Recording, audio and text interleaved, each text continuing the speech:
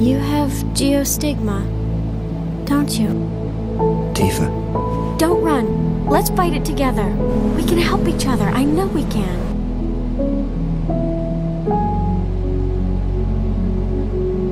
I guess that only works for real families. it's not as simple as just fighting it. Understand? There's no cure. You're gonna give up and die. Is that it? Please, give me some time. Which is it? A memory or us?